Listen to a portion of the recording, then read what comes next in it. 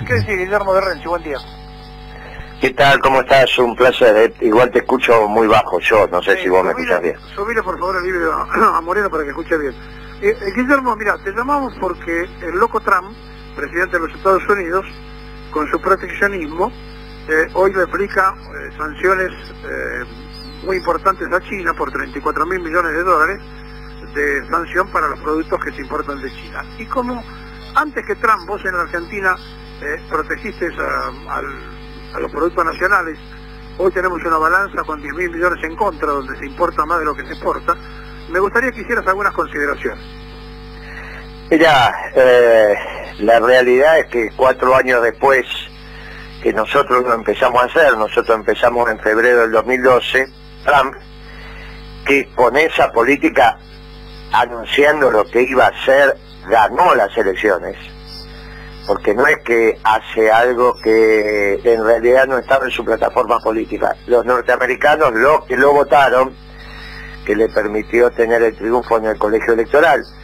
Eh, porque vos sabés que en Estados Unidos el sistema de elección presidencial era como el anterior nuestro antes de la reforma del 94, que garantiza de alguna manera cierto federalismo, o sea, la, vos tenés un piso de electores por cada provincia y después una proporción de acuerdo a la población. después de la reforma del 94 tiene mucho más peso Buenos Aires, Córdoba y Santa Fe por todo directo.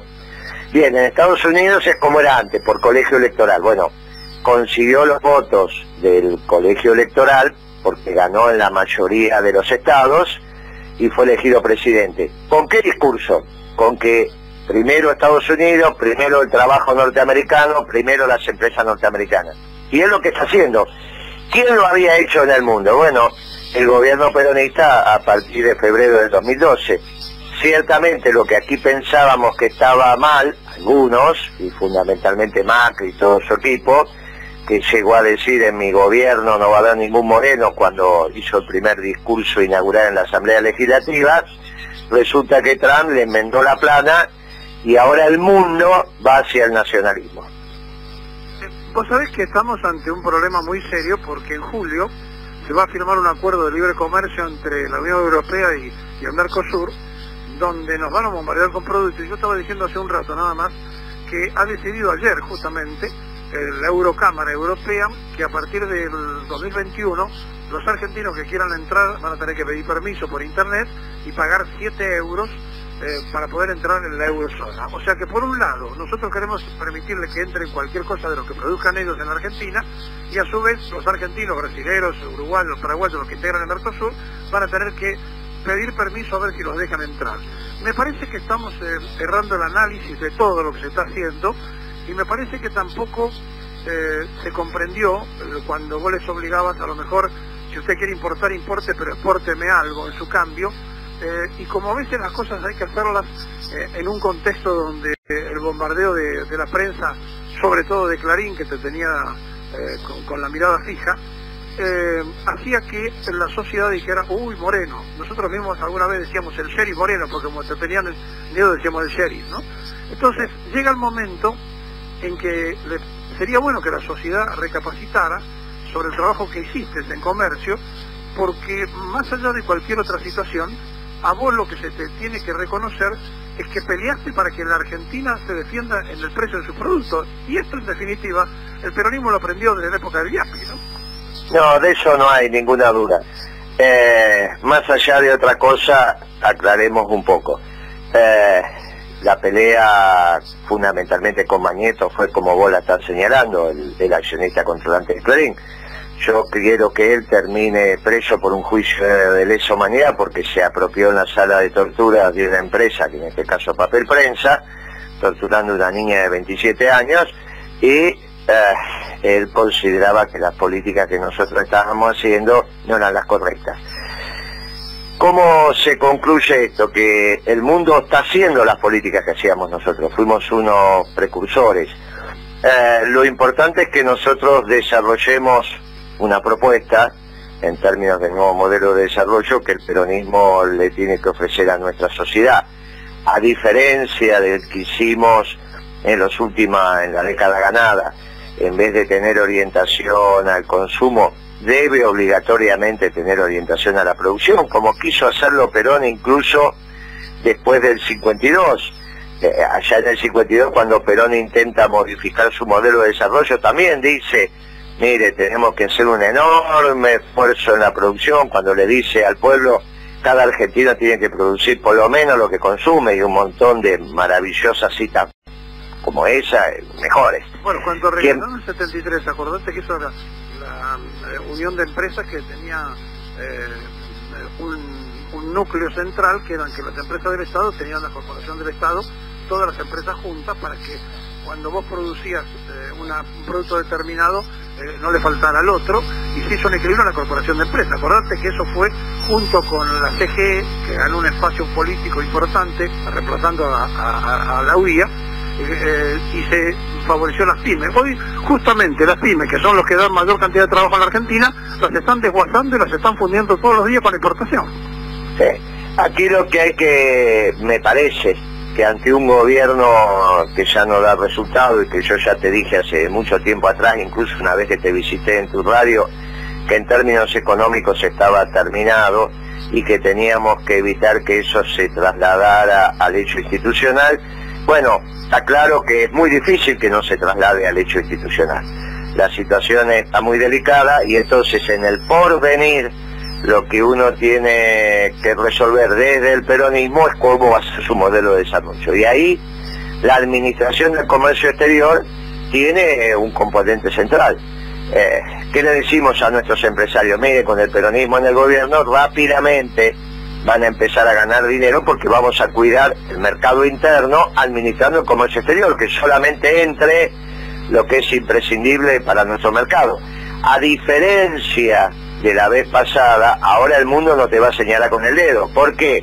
Y porque lo está haciendo Estados Unidos. O sea, en términos geopolíticos va a ser la primera vez que vuelve el peronismo al gobierno y el mundo no lo mira difícil, o fijo, como decía vos antes que Clarín me miraba a mí y a su vez tenés el Papa, que quiere un mundo donde los pueblos se destaquen al margen del tamaño o potencialidad que tienen. Él dice, este poliedro irregular, que es nuestra casa común, necesita de todos los pueblos del mundo.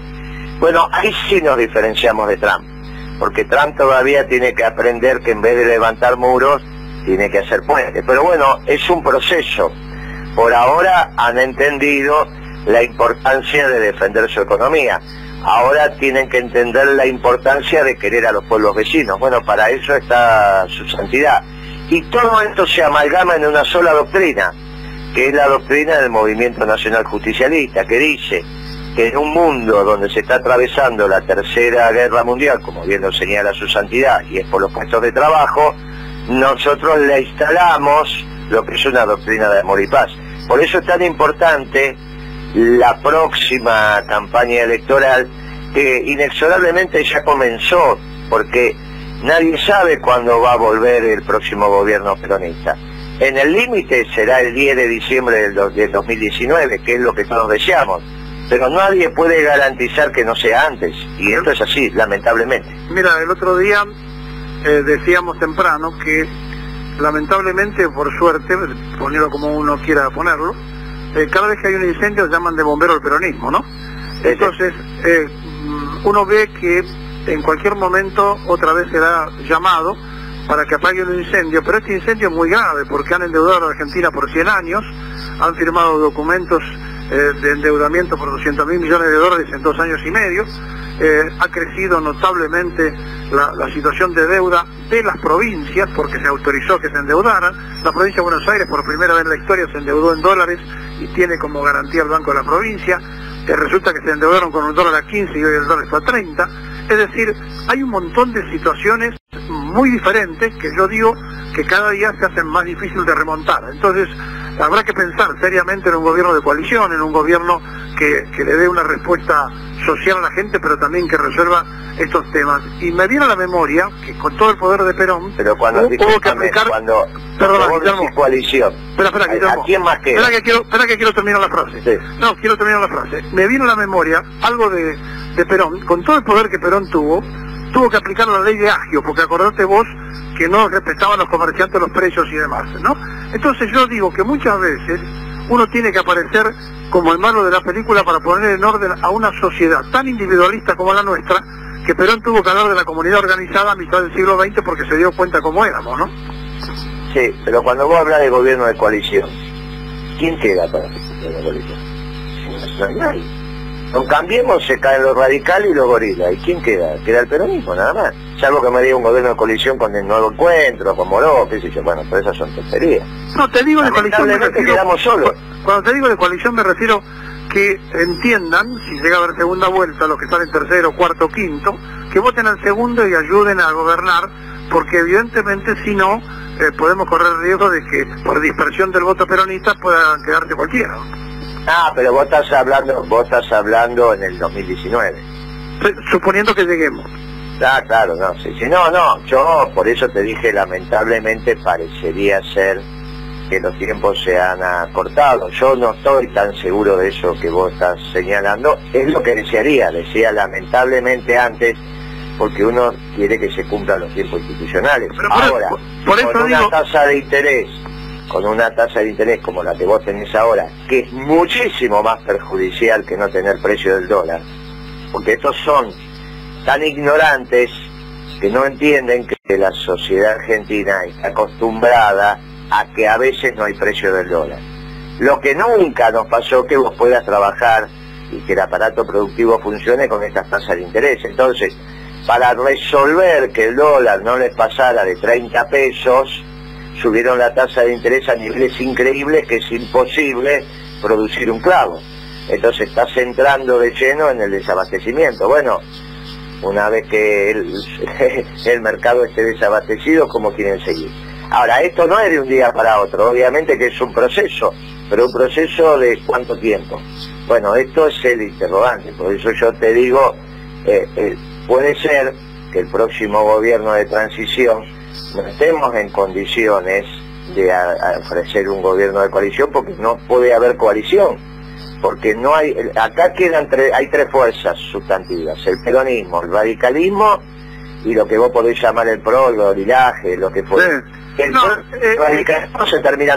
Lo que vos marcás está bien, porque estás diciendo, bueno, o sea, por el camino popular o todo lo otro, eh, como decía Perón, ¿no? Uno de izquierda, el otro de derecha, pero peronistas son todos. A la hora, a la hora de tener que levantar la soberanía política, la independencia económica y la justicia social, ¿quién se puede oponer? Sin embargo, se oponen algunos, como los que están hoy en el gobierno, que fíjate vos que ni siquiera vamos a tener una parada militar el 9 de julio, porque hay malestar en las Fuerzas Armadas. Se pelearon con las Fuerzas Armadas, se pelearon con la Iglesia, se pelearon con el movimiento obrero. La verdad, solamente son amigos de la timba financiera. Ni siquiera, porque cuando vos le hagas el balance en dólares al sistema financiero, no sabes si ganaron ni perdieron. No, no, esto lo único que tienen son amigos de las mil familias y encima se empiezan a pelear con las mil familias entre ellos, como son siempre. No, no, este no es un, experimento que le hizo ganar Bank hasta el sistema financiero. Cuando vos evalúes, y lo vas a hacer a fin de año, si ganaron o perdieron plata los bancos en dólares, te vas a dar cuenta que perdieron plata, que es lo que le está pasando ahora. Vos mismo lo dijiste, tenían su patrimonio en pesos a 18 cuando empezó el año, y ahora lo tienen que valorar a 30. Decime si la tasa de ganancia es el 50% de la devaluación. de ninguna manera. Entonces, hay una bicicleta donde todos nos mantenemos pedaleando hasta que no da más. Eh, hay un momento que vos para bicicletear tenés que comer, y bueno, y tenés que parar para comer, y bueno, si cuando paré te caes, bueno, esto es lo que le está pasando. Este es un gobierno de mil familias para mil familias, por eso es un gobierno oligárquico. Algunos estaban confundidos, bueno, ya se aclararon todos. Lo que yo te digo es, después de la tormenta, siempre termina y sale el sol. Y el sol que está saliendo es el sol peronista. Bueno, a vos se te han cuestionado las formas. Yo creo que si seguimos así, te quedaste corto. no, está bien. Chau. Vamos a volver con mucha más persuasión. Te mando un abrazo. Gracias por el llamado, amigo. Guillermo Moreno.